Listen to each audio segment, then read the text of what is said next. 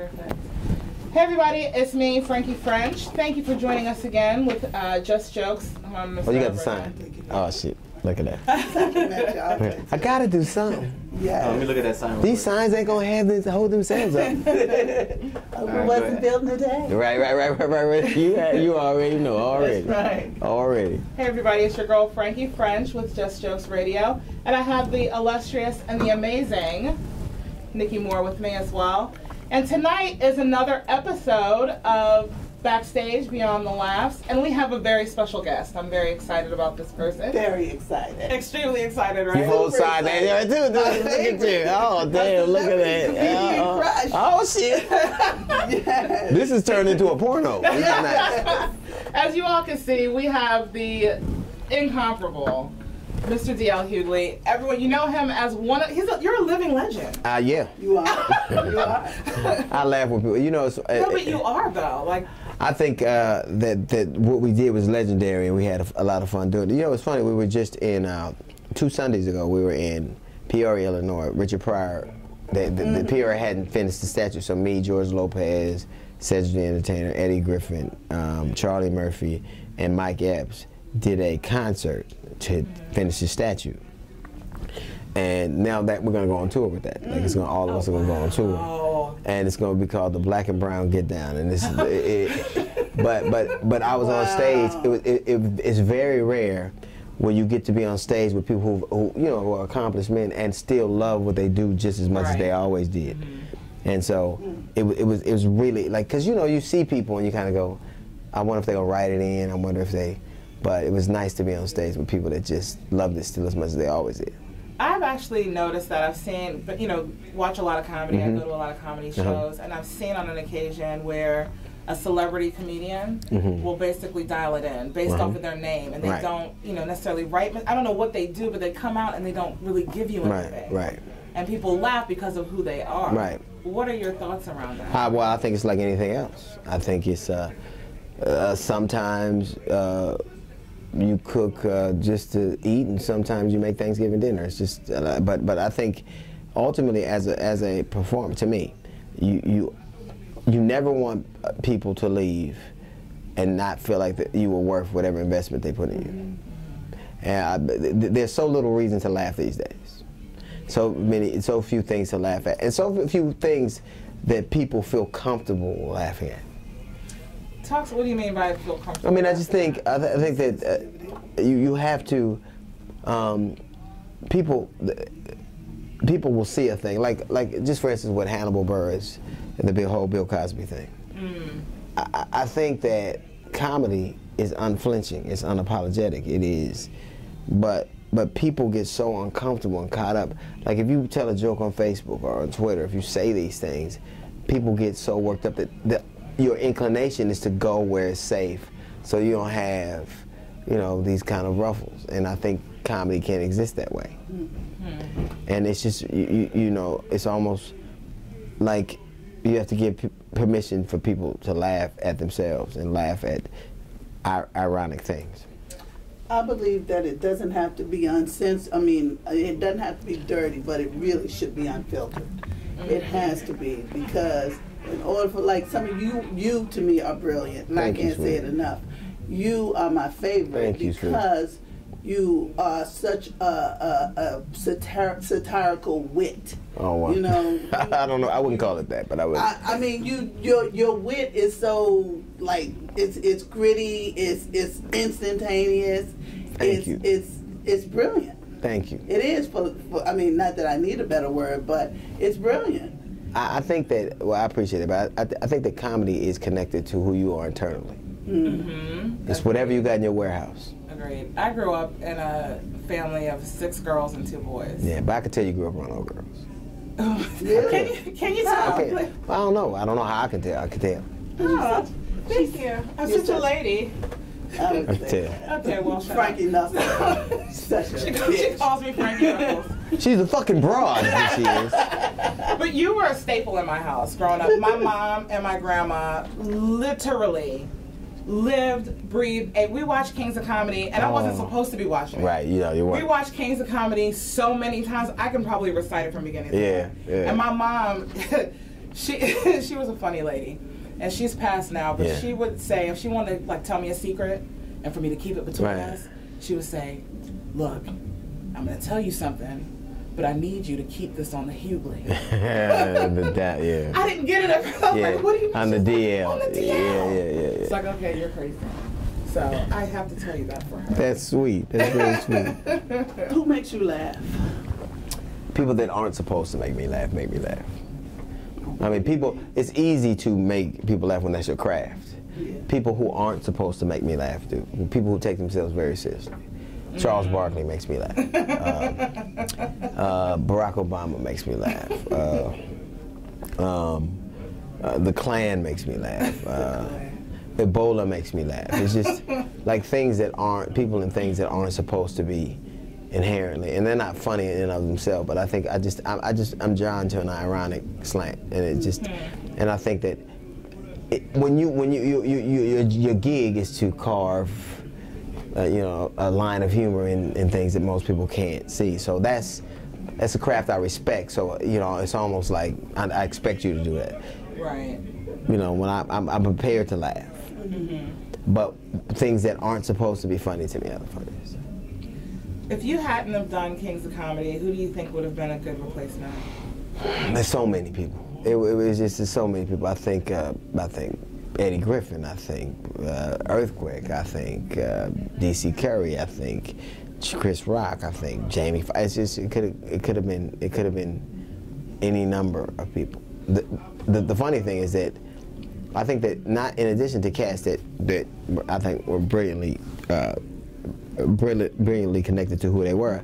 I think we were cast that genuinely had affinity, genuinely had an affinity for each other. So you had to like it. It, it was just uh, it was lightning in a bottle. You had to like and respect each other. You had to know each other. You had to, it was like you know you had to hang out. We were in war together, and so you had to really be comfortable with who you were at war with. And so it was a whole bunch of things that went into it. Who do you think are the up and coming kings or queens of comedy? Well, I think you know, obviously, uh, Hart, Epps. I think Katt. I think, but you know, um, I I don't have the right to tell somebody what I th- what what. Like I hate when comics go. That's not funny. Who the fuck are you? right. Okay. You ain't paying for it. you know. I mean, we don't pay for it. right. I dig that. Dude, like I'm, I'm not, I'm not the or uh, the arbiter of who's funny and who's not. Like that whole thing what ha- that happened with uh, with uh, Artie Lange. Listen, I don't get to decide what people think is funny, but that's what he does for a living. I think comedy has to be uncensored. censored. Now I don't have to like it, but Right. but if I don't defend him, then sooner or later somebody's gonna come for me. Right. You have to have the un, uh, you know, your, your, your comedy has to be un, uninhibited, at least from your perspective. So I hate when I hear comics go, "That's not funny." Fuck you to decide what's funny. You're not the fucking king of funny or queen of funny. You, it's not funny to you, is what you mean. Right. But if that audience feels this joint up, you know, then who am I to say? Right. If you could talk to anybody, dead, Uh huh. not Jesus, Uh huh. I, it, wouldn't, it wouldn't be Jesus. and ask, and ask him a Hey, Jesus. who would you talk to and what would you ask? I, I uh, my favorite uh, would be, I would like to talk to Mark Twain. I would like to talk to Helen Keller. Uh, I'd like to talk to Gandhi. I would like. I mean, there are people that I like to talk to Crispus Attucks and go, "Why were you fucking with them white folks?" I would like to- but, those, those are people What who would you ask Helen Keller? uh, how she could see when she was blind. Helen Keller said some of the most poignant things, and she can speak or, or see or talk. But read some of the things she says and how clear she was. And she was so specific and so clear that you could, that even her word, I would like to talk to Marvin Gaye, some of the the things that she said were so transcendent you could understand them now. So how could she how could she be blind and see the world better than most people with sight do? Mm-hmm. So that I would, Amazing. yeah, I would, She How still long have you is. been married? 28 years. How, how did your marriage survive comedy? I don't know. Okay. How did my well? You need to ask how my marriage survived me. Uh, I'm a, I'm a, I think I think that I think that I think that that whoever you're with has to see something in you you don't, and has to see you past. Have you ever seen a woman um, that doesn't want to give up a man because I'd hate to give him up and then he turn out to be the man I want him to be. Why after I gave that motherfucker up? Yeah. too much in. Right, right, right, nigga. I invested this shit in you, Right, goddamn it. It's time for you. right. It's time for you to pay off. right. And I think it's it's like that. I think that you have to have somebody That who believes. sees more, not believes. That's a different thing, but who sees more in you than you're capable of seeing. Yeah, I had to give up my husband for that Yeah. very reason. Yeah. I was selfish. When I decided to do comedy, I, I realized that it was my passion and not so much the stand up part of it, but the business of it. I love it. Yeah. It's it's amazing. you you know what? The fact that you said you were selfish mm-hmm. lets me know you're gonna do great things. Yeah, because he. he you won't be a good human being. but yeah. No, I'm saying I saying. think I'm a good human. No, but being, it- I'm, I'm, I'm, a, I'm, a, I'm, a, I'm a business mind, and I'm, I'm an adventurer, and I'm, you know, I'm a risk taker. You can't be tethered to the earth. No, and I couldn't be tethered to him. Mm. You know, he was like being in a same-sex marriage. Yeah. The husband. Yeah. He turned into. The husband. How come you don't say you say that? Yeah. Yes, I do. That shit is hilarious. he just it, it, he started doing all kinds of crazy stuff, and it just hindered everything that I was. So I decided that I wanted this more than that. You, you, you. To me, and I can't say like I can't say why she's with me. I can say why I'm with her. She, she, literally. I'm a man. and I've done all kinds of horrible things, and have and and and, and I'm, I try to be as honest and unflinching about those things as possible because what I would hate is to be in a Bill Cosby situation where somebody says some shit. Well, I'm living a life that is counter to who I am. Yeah. Right. But I, I've never met, I, I don't know people, women in the Bible I've read about that seem as good as her. She makes me literally want to be better than I know I can be. Mm. So I, I don't know When did you realize that? the minute I saw her. really? Minute I So saw- the whole way. Oh, now she didn't know that, but I knew. I, I, I wasn't ready to get married. I didn't want to, mm-hmm. but I said, "I'll marry her and get ready. I'll marry her and catch up." I said, "I won't. Let her I'll go. never see anything like her again," and I knew it.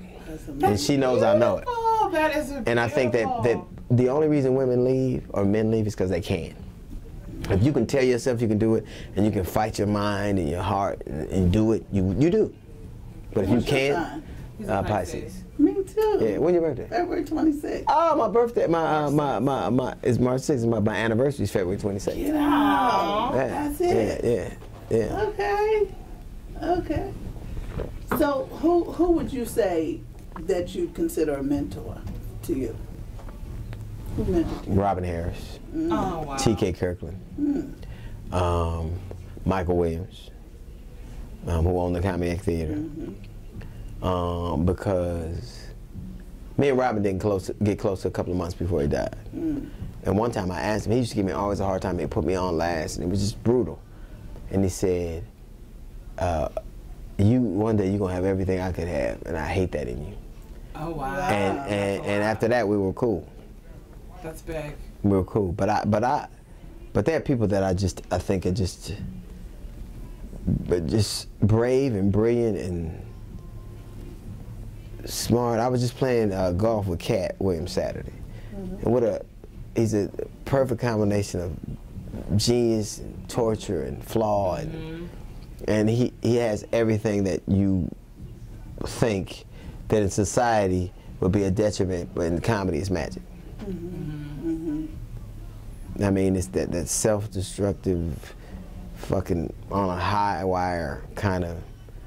It's it's just a, it's an amazing thing to watch people see. It's, you know you're gonna see something great no matter what. Either either it's gonna be uh, something spectacular or something hideous. It'll be it, but but But it'll the be something to see. but it'll be something to see. And I think I think that that's a a quality that just is amazing to me. And when it works, it just works on a level that I think Chappelle has that. I think. Uh, uh, the the the, mo- the brightest guy, I think. I like people who have no size. They have no skin in the game, but they're what they are at that very moment. Like they're What not does that mean? like um, some people are beholding beholden to what they were. Like if I was always talking about kings of comedy, Right. I'd be slave to the past. Right. Right. Some people are slaves to what they want to be. And some people are rooted in the very moment. If I'm thirsty, I drink. If I'm hungry, I eat. If I'm sleepy, I sleep. And, you know, I, they are what they are at that very, very moment. And I think that that's uh, being able to harness that and to replicate that is, is brilliant to me. Interesting. And it's brilliant to be, to know exactly who you are and what you are, and, and, and to kind of subsist off just that right at that moment. That's brilliant. I'm stuck right now. I just want to follow you around. Ah. no, you don't. Just for like a Would you mind? Are you guys gonna keep asking questions?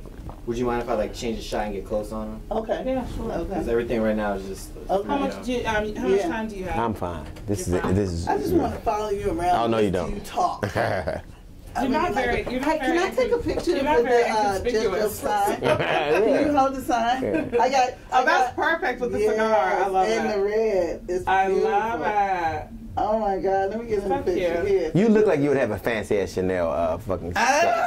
You really do.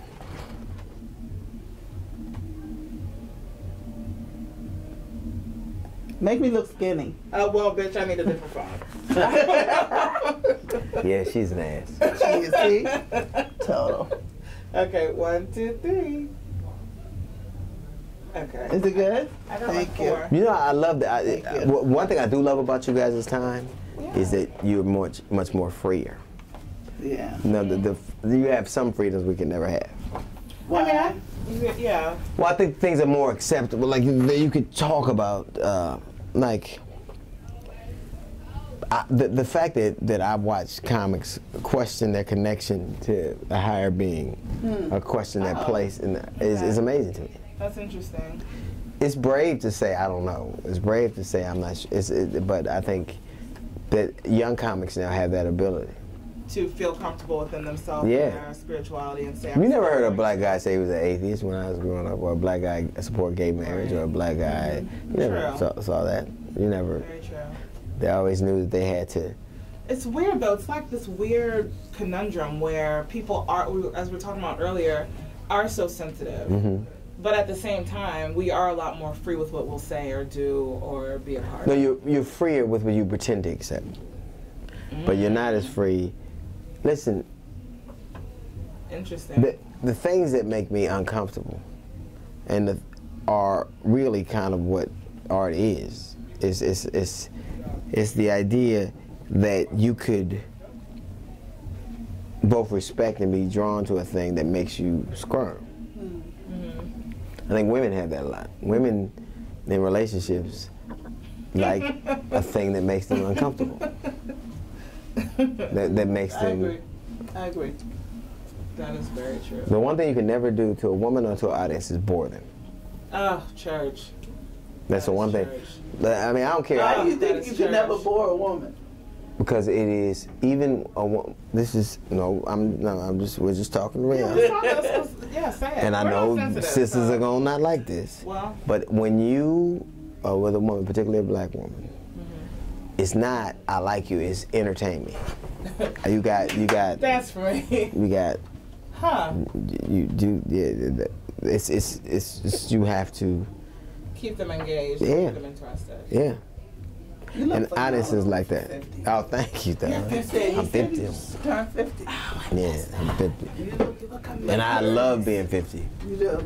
What's Mm. better at 50 than I'm, at 20? I'm, I'm almost 50. How so? Well, you see, you, This you, year I'll be you got a couple of great things though. You uh, you have a young woman's uh, look and an older woman's angst. You know how many women would not have left somebody that they were with just because Yeah. Yeah. they didn't? Ah, I used to be that woman. Yeah. You know how brave that is? Oh, fuck it, I don't know what's out there, nigga, but it ain't you. That's the bottom line. Look here, motherfucker, I take my chances. Look We here. have been in this thing way past the expiration date. How bad can it get? it Can't get worse than this shit. I know. Even if I'm in a homeless shelter, I'm gonna look and go, nigga, I ain't with you. You know how fuck, you know how fucking brave that is? Nigga, at least I'm not here with you. right, right. Oh. I'm cold in this box. And that, that gives you solace. I'm Yeah. pushing this shopping cart. Happy as I ain't washed my ass in three days. Nigga, but you ain't here. Oh, thank you, Jesus. Thank you. Thank you so much that you So blessed that's me funny. with this nigga getting out of my life. That is Oh, funny. thank How you. many children do you have? Three. Three. All mm-hmm. girls? Two girls and Two one girls? boy. How did you survive, girl? I don't know. I, I haven't yet, so we'll see. I tell my daughters this is true. No matter how long I live, know that I would have lived five years longer if you if I didn't have it. That's true. You believe that? I swear. I swear. I have a little girl, Yeah, and she's trying to kill me. yeah. Yeah. But she, but you say that like arti- she is trying to kill you. Right, no, I She say it is. seriously. No, no, she joke. is. Yeah, she's yeah, trying to she's, kill she's Literally. beautiful. Yeah, of course. Right? Uh, just beautiful, drop mm-hmm. dead gorgeous. And she's so funny too. Oh my god, she's so funny. she told me one day, so I'm getting dressed and I'm putting on a shirt that may or may not have been too small for me. Right. Whatever. Right. Whatever. It might have been too small. It was puckering up in the front a little bit. Where It's a I'm little young. Yeah, I, I like it. I Right. like it. So I turned to her and I Look said, like "This is a little small. I need to, I need to take this off." I was a lot smaller when I bought this shirt. Right. She's nine. She says to me, "Did you get that shirt before I was born?" Ooh. like, bitch, you've been fat Yeah, all right, nine right. of the years that I've known you. This is, I done had a lot of mama for a long time. right. You have. Let's I not need a stop. time stamp receipt. Right, you let's have not. not Yeah. ever. Listen, I ain't. I'm just tell, here to tell you, mama. You. Yeah, you did. You fat. Let's not a lie little to each other. fat. Yeah. Yeah. yeah. You know what I mean? No offense. Yeah, she's Yeah. crazy. What that thing? Big man, big man, little coat. That shit. That shit. Yeah. yes. My son one time-. This nigga, this little my, my son. How old is he? He's 20. He'll be 26 now. Oh I, wow. only, I know that because he, he has to get off my insurance. Our little boy stupid. No, but he really is. He has autism. he really is dumb. He really is. He really is. he really No, he actually is. But he has it like medically. Like he's no, but he's no, he's a good kid. He's the best retarded dude I know. No, I'm serious. He is. He's the, he's the mo- if you're gonna have a What's his retarded name? Kyle, but he's the We love you, Kyle. he's the most no, he knows he's the most warm, loving Oh. human I've ever met. And he asked me, um, like, like he is having a hard time. Oh, because he has he has Asperger's syndrome, which is Okay. the highest one. Right. And he ha- he's having a hard time with girls, with Right. women now. And sensitivity to touch and all that kind of stuff. Any, any, any, he and he and he's literal. right. Mm. hmm Like if a girl said, "I don't look good today," he go, "You don't." Like he doesn't know how to Filter. to lie. Right. Yeah. But that's beautiful. If you're gonna be, no, it's not. No, it's not. No, it's not. You got it. You can't. It's beautiful if you his mama. It's not as beautiful if you his woman. Well, no, no, no. It's not. You're hideous. Yeah, you don't Oh. want you don't see, and, and you, there's a certain amount of bullshit you got to be able to pull off with a woman. It's just true. Like imagine Lester. No. Yeah. No. See. If you're partner, it's a certain amount of line you got to do to a woman. Hmm. So I'm not talking about like in in, in like, uh, uh, uh, you know, in things that matter, but do I, how do I look? Like, do I Am look fat? do it? No. You can't. It's a certain kind of shit you gotta. Do you think my sister's prettier than Yeah, me? Yeah, all that kind of shit you can't. Yeah, right. Yeah. Yes, this bitch is yes, you know it. She's beautiful. I'm only here because because five minutes earlier she you were here. That's it. He, He he all would say that. He would say that. He doesn't. And your mother said you you'll find a girl not nigga not too know how to lie to you. You'll find a hooker. Yeah, that's nice. Do you tell him that? Yeah, of course. You'll find a hooker because they're for hire, but you ain't gonna Ever secure until you until a you good woman. until you until you Does your family think you're funny? No. I think they, my, like, my daughters really enjoy me, and my daughters have, you know, how, well, you, you have kids. No. Um, you're blessed. That's why you look so fucking young. Oh, Here's here's the deal. it's the truth. Women, chicks, uh, my daughters used to have a thing for their mother. Like my youngest daughter always had a thing for me. Always. We always were very close. My oldest daughter now and my youngest daughter and me are all thick as thieves because now I'm the dude that they date. Right. Yes. Yeah. They fucking love hanging out with me, and I love having a pretty little young thing around. It's so nice. That's- But my mo- my wife is trying to break us up. yes, that's what we do. That's what we do. She doesn't How did she? understand. How did she do it? What She doesn't like, like like okay, like I'm I'll, I'll be here till Monday, and I'll get home, and Monday. Um, I will. I gotta leave Tuesday on the red eye every because I'm doing. I do the radio show and I'm writing this book, so I have to. So Monday when I get home, I will have a day with my daughters and a day with my wife. Now, she will come, and we don't really want. They don't really want her to come. I, I want her to come. But they don't want her to come. And then when she comes, she I don't want to go see this movie, and I don't want to eat here, and I don't want. They want to eat what they want to eat. They want to go where they want to go, and I'm like, fuck it, They I just. it, yeah. And she is like supposed to be silent and just kind of go for the ride, but she won't. So she'll. And so they're like, tell her she can't come. I'm like, I'm not telling your mom she can't come. No. I'm trying to get anal sex. What you gotta- I feel her though because Charles, my husband, and my That's my daughter. daddy's name. Oh my God! Oh, is that really? He must be a good guy. Charlie, yeah. Yeah, my Charlie. husband's great. He's my biggest fan. Hello, My, I have Charlie. the best support system ever because I'm Does he work? home. Mhm, he works. That's why he's your Yeah. support system. Yeah, he works and he's you know takes care of my daughter. I'm I'm home maybe fifty percent of the time, maybe. Yeah. And uh, they are they're like this, Mhm. and you know she'll come in our room in the morning because her room is cold, and, and turn the fan off, Daddy, and he turns it off, and I'm like, but I'm hot. We need to turn that back on. He's like, well, baby girl is cold, so. So he got two bitches bossing Yeah. him all Two day. bitches- Well, it's her bossing him. I don't get to boss Yeah. anything. Yes, you do. Yes, you do, Franqi. It is. It's it's a, it's a little uh, uh, it's a little manipulative. Yeah, a little bit. I Yeah. feel bad for Charles. Oh God, he is not a victim. Yeah. Me to tell that. you, Me he that. is not a Listen, let me tell you something. All my kids are home, and I talk all that shit. Mm-hmm. I'm so glad the motherfuckers is home. because you know I didn't get to see them. I didn't get to see them. I didn't get to be with them. I didn't get to, Right. and that's what she doesn't get. You raised them, so to to me, it's my renaissance. It's my chance to Right to get all of that. to see them. I didn't see them growing up. When I when I I was on the road and I'm still on the road. I didn't get to we didn't get to hang out. Then next thing you know, they, my son went off to college. They went. I never saw him. Mm. And then all of a sudden she gets accepted to it. She moves to DC, and then she gets accepted to USC, my favorite school. And she gets to come home, Right. and I get to have. Yeah. I'm gonna, I'm gonna make up for lost overtime, time. For sure. What's your What's your favorite Bernie Mac memory? Um, how after the Kings of Comedy, I probably well after well, the truth is I should I was gonna say I probably should say it, but it is. Uh, me and Bernie were very close, and me and Bernie used to. Uh, Bernie never really got his due. I mean, I, I, I'm not in a position to tell people what their allotment should be. And and certainly on the Kings of Comedy, he he he he didn't he wasn't getting his due. He did from the people and from the audience, but he always he never believed that he would get a shot.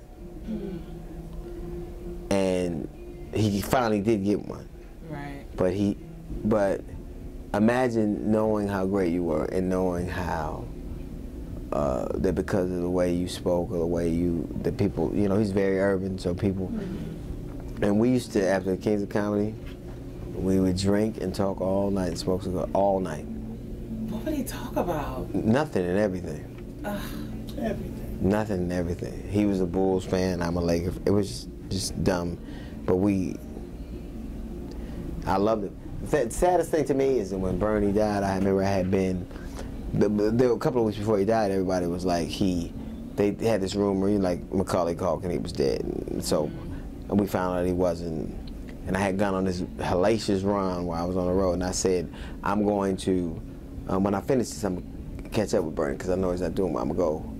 And then he died before I could do it, and so I, people, I remember when he died, uh, the first thing my wife said is, "He knows you love him," and that that was cowardly because that's what people say to let you off the hook.